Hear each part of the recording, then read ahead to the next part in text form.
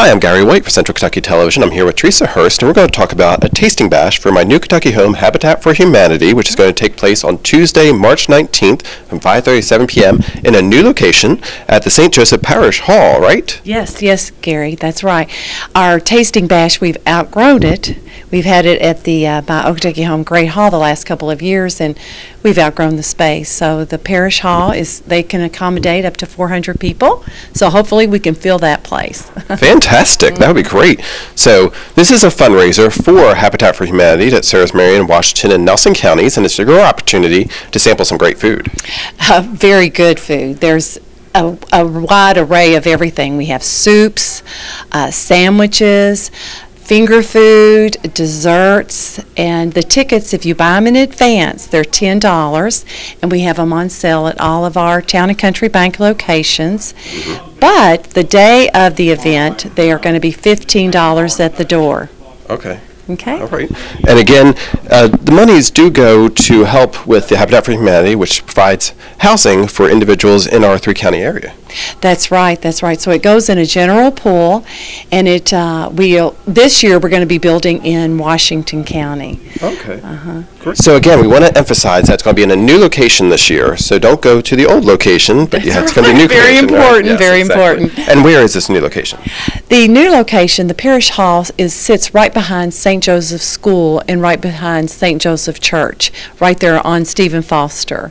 Okay. Uh, It's a beautiful new center. Uh, The people can park either in the church parking lot there or either in the school parking lot. The school parking lot would be actually closer, and then they can just go in, they can take the steps down, or just go in the first floor and take the elevator down. And uh, we're we're really excited this year. It's going to be, uh, we're going to have a lot of new little techniques. We're going to have the Bardstown Strings Group.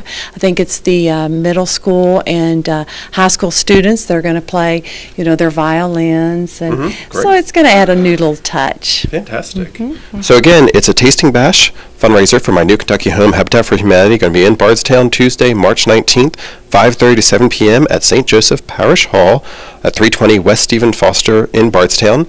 And tickets are $10 in advance, so make sure you get them in advance or $15 at the door. And if people have questions, they can contact somebody here at Town Country, right? Yes, yes. uh, We have Joan Hawkins who works here, and she is on the board.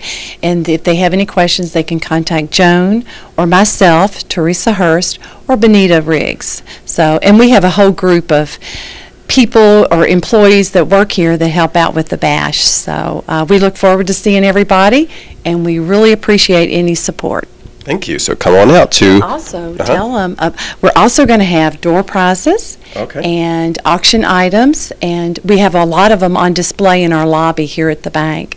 Fantastic. So, mhm. So last year, we had some great auction items that brought some really good money. The vocational school, they're making wooden bowls, and um, so we, we've just got some great stuff from the local businesses around, too. Fantastic. Thank you very much.